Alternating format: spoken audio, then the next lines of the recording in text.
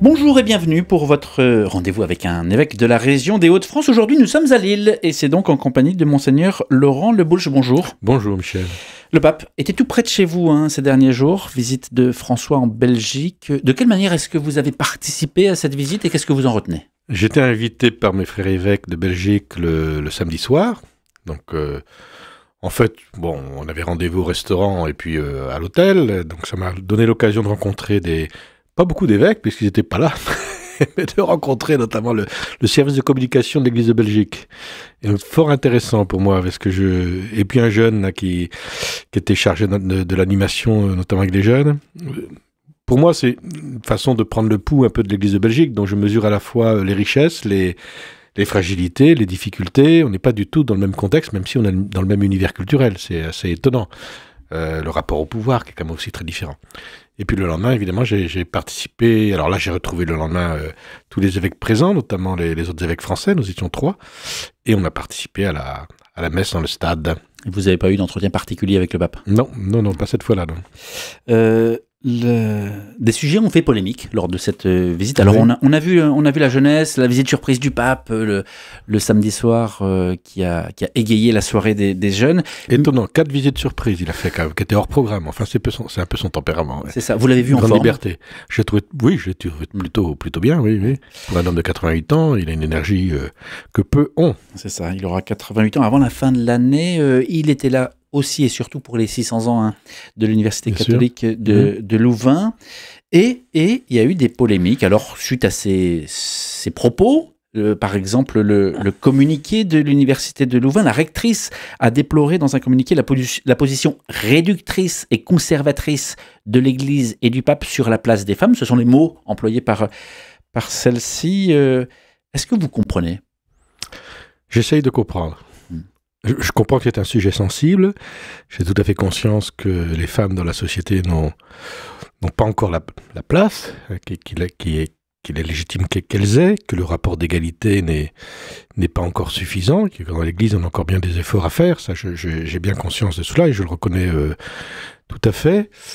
Après, euh, le grand débat, en fait, c'est l'articulation entre la l'égalité euh, irréductible des, sexes et la différence sexuelle. Et selon que le curseur va dans un sens ou dans l'autre, mm. ça crée des, des, des, des, tensions. Mais les étudiants eux-mêmes, dans leur euh, discours devant le pape, ont relevé, alors je cite, hein, sa théologie de la femme, le pape y exalte le rôle maternel tout en interdisant leur accès au ministère ordonné. Et donc les étudiants de, de déplorer ça. Pourquoi est-ce que, en fait, au fond aussi, on se pose la question, pourquoi est-ce qu'un homme de son âge, qui a choisi le célibat de ne pas vivre avec une femme toute sa vie, pourquoi est-ce qu'on on, l'attend sur, des, sur ces considérations sur les femmes. Mais euh, est-ce que le sujet de, la question de la femme est réservé aux femmes? Ou est-ce qu'il est celui de, toute la société? Et à ce moment-là, je ne vois pas pourquoi euh, il serait interdit d'accès à, à, certaines personnes. Je veux dire, la question nous concerne tous. Parce qu'à ce moment-là, euh, il n'y a que les, les, les, Africains, et je sais que c'est une tendance actuelle dans, dans, dans certains courants, euh, il n'y aurait que les Africains à pouvoir parler de l'Afrique, il n'y aurait que, etc., etc., etc., et on peut décliner, et on peut cloisonner à, l'infini euh, nos échanges. Mm. Donc je vois pas pourquoi c'est une, ce sujet serait réservé à et la propriété des femmes uniquement. Mm. C'est une question de société qui nous concerne tous. Alors, de manière un peu plus générale, donc le, l'Église en Belgique n'est pas l'Église de France. Les, thématiques abordées sont assez incroyables pour les, pour les gens de l'Église de France. Par exemple, l'épiscopat évoque ouvertement l'ordination d'hommes mariés, évoque ouvertement les bénédictions de couples homosexuels, évoque ouvertement la possibilité d'ordonner euh, diacre des femmes, des sujets très sensibles sur lesquels les, les propos d'évêques sont différents de ce qui se passe de ce côté-ci de la frontière. Est-ce que... C'est-à-dire qu'ici, il n'y a pas une position commune. C'est ça. Il n'y en a pas. Et puis, euh, l'Église de Belgique, c'est 15 évêques. Hmm. L'Église de France, c'est 100 évêques. Et donc, le, la communion est beaucoup plus exigeante. Et voilà, donc euh, il peut y avoir euh, des déclarations de l'un ou l'autre. Et vous le savez très bien que là-dessus, il y a notamment sur l'ordination d'hommes mariés ou le, ou le diaconat de femmes, il y a, il y a, il y a des positions diverses dans l'épiscopat. Est-ce que l'Église, en, en collant finalement à l'actualité et au, monde, et au monde, est-ce qu'elle ne risque pas de, de, perdre un peu sa parole prophétique? C'est un peu ma, ma question. Euh, Il ne s'agit pas de rentrer dans une logique de séduction pour, euh, pour apparaître sous une face meilleure à, à notre société. La question, c'est la fidélité à, à l'évangile. C'est cela qui, qui, nous tient d'abord, et parfois cette fidélité en évangile peut nous mettre en, en contrepoint ou en porte-à-faux avec la, pensée commune, l'esprit euh, du monde. Alors je ne dis pas que ces questions-là soient liées à l'esprit du monde, hein, mais euh, je, voilà, je, pense que ces questions-là, elles euh, elles demandent vraiment un, grand approfondissement. Puis je pense aussi d'une autre manière que aller très vite dans des questions sociétales. Si les questions sociétales prennent le dessus, deviennent prioritaires, comme parfois j'ai le sentiment, c'est parfois au détriment d'une expérience spirituelle que, l'Église, en France en tout cas, cherche à développer. Il me semble que la particularité de l'Église en France, c'est de, mettre d'abord l'accent sur euh, l'expérience de la conversion au Christ. Et qu'à l'intérieur de cette conversion au Christ, on puisse réfléchir à toutes ces questions. Mais parfois, euh, j'ai l'impression que c'est d'abord ces questions-là qui sont importantes, et ensuite on va voir du côté un peu de... Vous voyez ce que je veux dire? Et, pour moi, ça colore quand même de façon très forte les, ce qu'on essaye de vivre en, en, France. Une dernière question sur la visite du, du du pape. Que vaut la parole du pape François? Est-ce que les, les, croyants, les conférences épiscopales, les églises sont libres ou non d'interpréter sa parole, d'exprimer leur, leur, désaccord? Alors, certains parlent d'infaillibilité pontificale. Il faut savoir qu'elle n'a joué qu'une seule fois depuis Bien 1870. C'était sur la définition de l'Assomption à la Toussaint 1950. Euh, quelle distinction entre l'autorité et... Ben, c'est compliqué, parce qu'il y a tout un dégradé dans la parole du pape, dans l'autorité de la parole du pape. Quand il, quand il prend la parole et répond aux journalistes dans un avion, euh, ça n'a pas, ça n'a pas l'autorité d'une de, de, encyclique Pourtant, c'est le même exhortation. C'est le même homme et ce sont les mêmes médias. Mm. Et donc le problème, de, de c'est qu'on a, c'est que la, la, parole étant tellement diffusée, etc., est devenue tellement immédiatement euh, disponible auprès des gens, que tout ce dégradé qui, qui est, bien, est oublié. Donc, euh, enfin, on ne le sait pas. En fait, beaucoup de gens ne, ne le savent pas. Donc, je pense que il faut vraiment euh, tenir à cela. Et la parole de l'Église, elle est toujours sujette à interprétation. De toute façon, il n'y a aucune parole qui ne soit pas sujette à interprétation. Et, les, évêques sont chargés d'interpréter les, propos. Alors, euh, il est vrai que notre cher pape est a, une, gardé une mentalité de curé de campagne, ce qui, ce le rend fort sympathique et, généreux et très proche des gens. C'est admirable. Enfin, on peut pas avoir toutes les qualités, qu'est-ce que vous voulez. Mais, mais euh, le défaut de cette qualité, c'est que parfois, euh, il court-circuite un petit peu les, les, les, les degrés, enfin les, interprétations nécessaires qui sont à faire par au niveau local et en particulier au niveau des conférences et, et, et des évêques. Ça, voilà. ça, c'est mon problème. C'est mmh. pas le problème des gens. Vous parlez de médias. Vous passez à la télé, monseigneur Laurent Leboulch. Après BFM pour la rentrée, euh, la oui. vie des diocèses sera diffusée le 14 octobre sur KTO. On y parle de l'aumônerie de la Cato, du chemin de renouvellement missionnaire. Quelle image vous voulez faire passer de votre diocèse Parce que c'est aussi ça, c'est aussi de la communication. C'est bien que vous posez la question de l'image du diocèse et pas de mon image, parce que mon image, c'est totalement bah, secondaire. l'image du diocèse, c'est pas tellement une image que je, que je veux transmettre, c'est la réalité du, du, diocèse. Les images, c'est, euh, on en fait ce qu'on veut, elles sont pas fortes. Et, et alors, qu'est-ce qu que la réalité du diocèse que, que, que j'ai joie à, à partager, c'est celle d'un diocèse de, en créativité, et ça, ça me va très bien, notamment dans sa pastorale des jeunes, hein, qui est extrêmement inventive et, très belle. C'est un diocèse d'engagement où les, gens, où les chrétiens euh, ne sont pas simplement des chrétiens de discours, et peut-être moins des chrétiens de discours que des, chrétiens d'action. Et, ça, je, trouve ça fort, euh, stimulant. C'est un diocèse euh, foisonnant dans ses initiatives, mais qui a aussi besoin d'être vigilant sans cesse sur le lien de communion entre tous. Enfin, voilà un peu les, les, thématiques qui me semblent importantes et qui, qui disent un petit peu, en tel que je la découvre, parce que je suis encore en phase de découverte, le diocèse de Lille. Deux églises ont été vandalisées fin septembre à Gravelines. Alors il semblerait que, que rien n'ait été volé, mais les tabernacles ont été euh, fracturés. Que s'est-il passé? Quelles sont les suites judiciaires? Alors c'est d'abord une grande, une grande souffrance, une grande douleur. On touche au cœur de, de l'Église, au cœur de la foi catholique, en tous les cas. Euh, même si euh, il est possible que euh, l'intention n'était pas de, profaner, mais de, dérober des, calices ou des, ciboires, il reste que le cœur de notre foi est, touché dans, la présence de, de Jésus dans, dans, dans l'Eucharistie. Alors c'est douloureux, moi j'ai subi ça comme curé, hein, c'est à chaque fois un traumatisme pour, pour les paroissiens, pour la communauté d'église. Euh, voilà, après, il ne s'agit pas, de, fort de cela, de se dire, eh ben, dorénavant, on va fermer les églises, on va euh, barricader tout, parce que ça n'est plus possible, quoi. Et je, je, lutte contre ces tentations, hein, qui, qui, oui, qui serait pas un bon signe donné. Ça veut dire que, ça veut dire que le, le, le mal euh, emporte tout et qu'il n'y a plus de résistance du bien au mal. Euh, voilà, donc il y a tout un rituel qui est, qui qui est proposé par l'Église, hein, qui est défini par l'Église dans ces cas-là. Donc euh, l'Église, euh, il faut, il y a une célébration de purification de, ou de réparation qui, qui, est faite avant de pouvoir célébrer à nouveau dans, dans ces églises. Mmh. Oui, je pense que, consciemment ou non, il y a, il y a cette opposition au, voyez, au cœur de l'Église qui, bah, qu'il nous faut re reconnaître et, et combattre. Et vous savez aussi que, que l'hostie consacrée se revend au marché noir, magie noire. J'entends dire ça, alors je n'ai jamais vérifié. Est-ce que comment, vous avez des informations Et comment vérifier qu'une hmm. hostie est consacrée ou pas Ça m'étonne un peu ce genre mmh. de choses, mais euh, parce que en apparence, rien ne la distingue. Donc je suis un peu surpris de ce genre de choses, mais c'est ce que je, on, on, entend dire ça, oui. Mais vous n'avez enfin, pas Je sais qu'il y, y, a des circuits souterrains, et des, mais je suis pas, non, je suis pas assez affûté pour. Euh, pour donner plus de détails sur ces, oui, sur ces pratiques quand même qui, enfin, on dit que, euh, euh, et les exercices en sont euh, témoins, que, que disons, les tentations de recours de, de messes occultes, enfin, de, la tentation de l'occultisme est, est, croissante dans notre société, c'est ce que j'entends dire. Donc pas de caméras de vidéosurveillance dans les églises?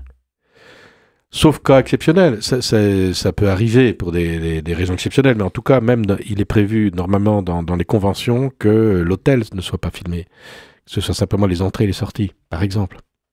Alors on a parlé de, de, dégradation, mais il y a aussi des choses beaucoup plus positives qui peuvent se passer dans, ben, dans, dans oui. les églises. Et j'aimerais que vous nous racontiez, euh, comme euh, vous l'avez vécu ou non, ce que vous avez entendu dire, sur l'histoire des lingots de Vambrochy.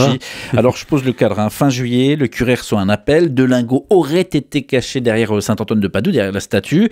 Vérification faite, c'est vrai. Et le mot qui va avec, anonyme, explique que la somme doit servir aux travaux de l'église. On est à plus de 150 000 euros. Ah oui, c'est ben, une belle histoire. Je, je, et, je, je, et la personne qui, qui, a fait ce geste... Euh, anonyme. Je, trouve que c'est assez remarquable de, le faire euh, sans, sans, faire de bruit comme ça, de, de cette manière. Après, bon, ben, euh, grande joie pour cette église hein, qui va pouvoir être restaurée et voilà. Bon, c'est étonnant. Il se passe aujourd'hui des choses tout à fait surprenantes. Vous voyez, tout à l'heure, on parle d'actes plutôt maléfiques.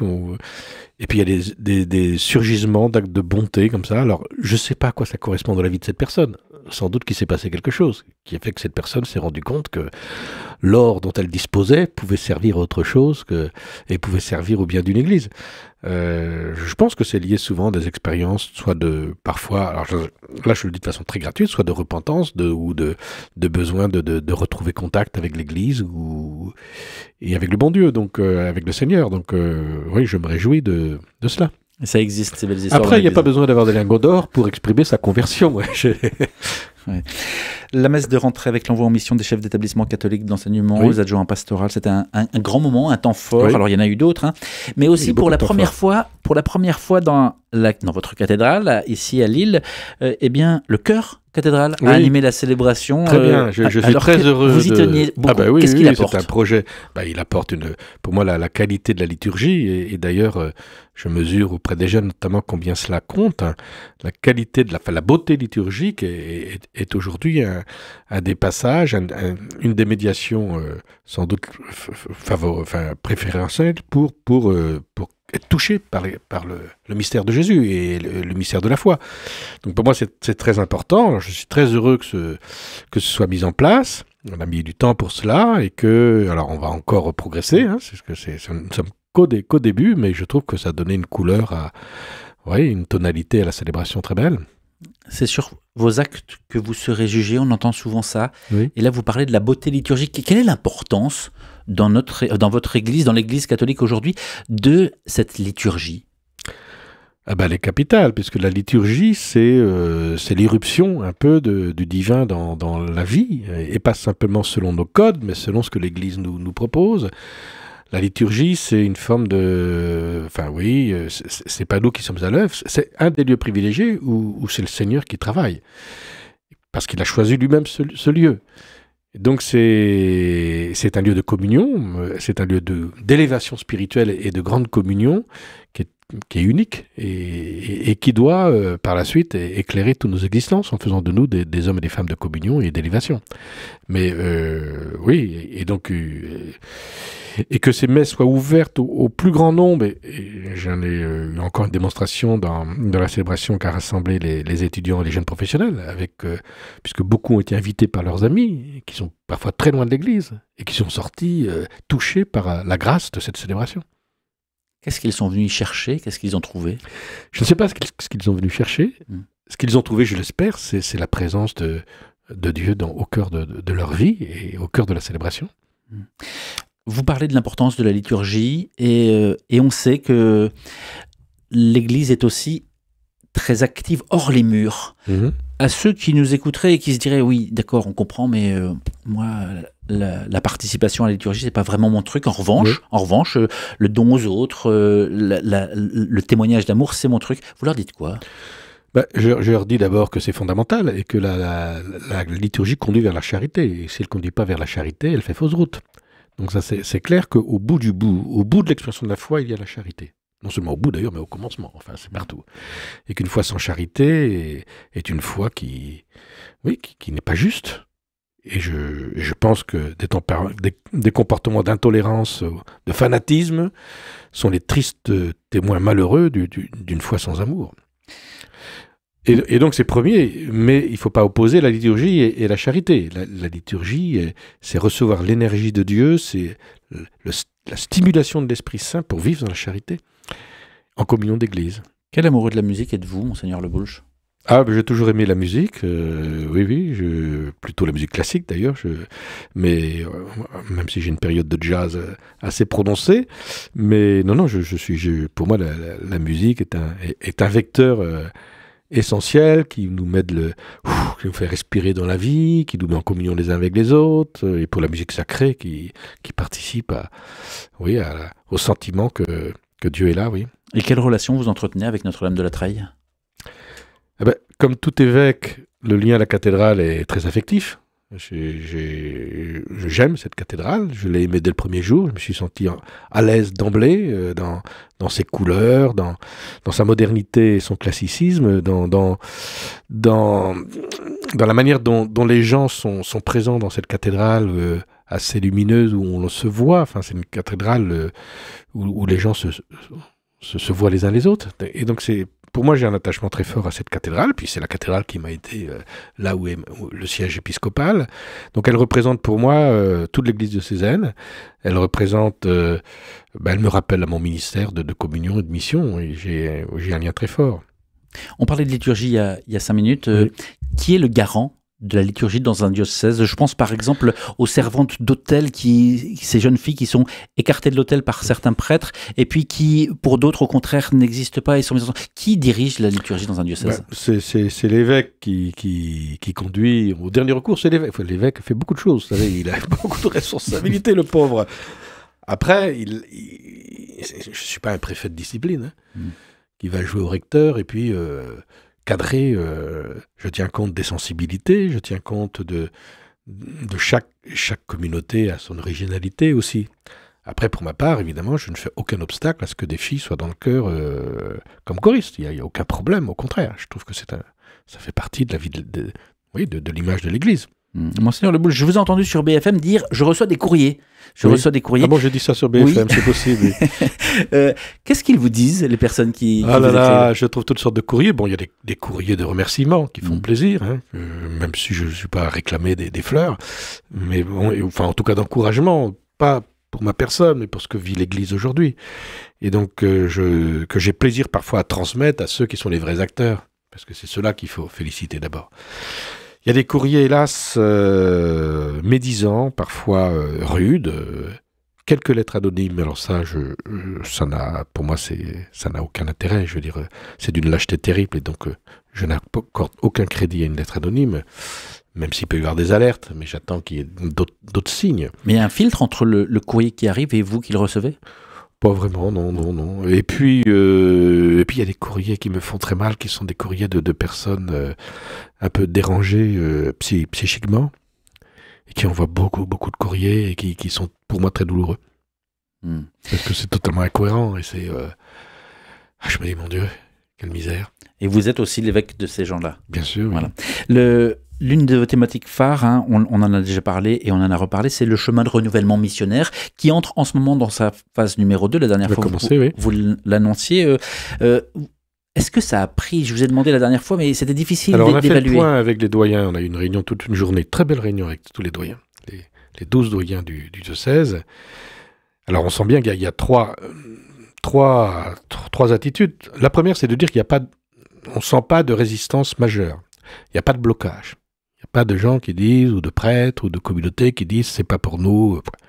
Mais, ceci dit, mmh. il y a des enthousiastes, et il y en a quand même quelques-uns hein, qui, qui, se, qui se réjouissent et qui voudraient que ça aille encore plus vite et plus loin. Il y a ceux qui, sont, qui comprennent très bien, mais qui sont un peu désemparés dans la manière de faire. Et donc, ceux-là, il faut vraiment qu'on les accompagne de très très près. Et puis, il y a quelques-uns qui, euh, bah, qui sont un peu fatigués et, et, qui ont du mal à s'y mettre. Quoi. Donc, euh, ce que je retiens de cela, c'est qu'il faut qu'on soit beaucoup plus présent dans l'accompagnement, on se rapproche un peu de toutes ces communautés ou ces prêtres qui ont un petit peu de mal pour les encourager à avancer. L'idée, c'est pas que tout le monde fasse la même chose. C'est pas. Alors, on a aussi insisté que que cette proposition, c'est pas une proposition de table rase. Il s'agit pas d'éliminer tout ce qui existe pour passer à autre chose. Il s'agit que cette dimension missionnaire et d'annonce de l'Évangile, elle pénètre l'ensemble de, de, la vie de l'Église. Et donc, dans les fraternités, moi, j'estime que les mouvements sont aussi des, des, fraternités pour pour, pour le peu, pour peu qu'il qu s'ouvre davantage à, à, à l'autre et, et, au désir d'être signifiant au nom de l'évangile pour pour ceux qui nous entourent. Voilà, donc je trouve que c'est un. En tout cas, euh, et puis comme on dit, euh, on m'a dit, les gens du Nord, il y a quelqu'un à, la fin de la réunion, il dit, vous savez, Père, vous allez découvrir, les gens du Nord, ben, parfois ils sont un peu sceptiques, mais ils font toujours. Donc on va voir l'usage. On a parlé de l'autorité du pape tout à l'heure, l'autorité de l'évêque avec ses prêtres, par exemple, ceux qui seraient peut-être réticents. Mais je sais pas que dire. Enfin, l'autorité, oui. Je, je bon, euh, un prêtre qui s'obstine à ne pas écouter l'évêque, euh, ça peut arriver, mais euh, ou alors il va contourner les choses en, faisant les choses à sa manière.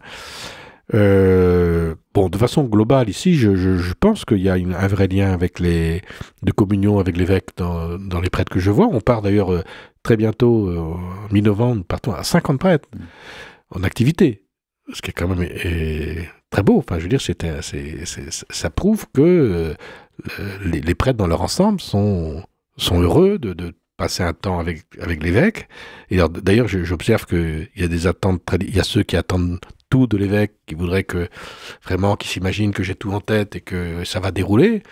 Il y a ceux qui sont plus dans une, logique de, coopération, ce que j'apprécie beaucoup. Hein, je suis plutôt là-dessus. On va, on va construire ensemble. Puis quelques-uns qui sont plus à distance, mais j'avoue que c'est pas, c'est loin de la dominante et c'est très marginal. Merci beaucoup, Monseigneur Laurent Lebouche, d'avoir pris le temps de répondre à ces questions. Je, Merci précise, à vous. je précise que cet entretien a été enregistré euh, le jour de la fête des anges. Ah. C'est qui les anges pour vous? Les anges gardiens. Eh bien, moi, le, quand je pense aux anges, je pense au, au, au, très beau film de Wim Wenders qui s'appelle Les ailes du désir, que vous connaissez peut-être, qui est pour moi un chef-d'œuvre. Quand je vois ces, ces anges se, se, rapprocher des personnes dans, dans le métro, par exemple, écouter les, les plaintes, les souffrances des uns, et puis ils glissent, ils souffrent comme ça. Non et la personne retrouve le sourire, ou reprend l'espoir. C'est la plus belle image de l'ange que j'ai. Merci d'avoir pris le temps de répondre à ces questions.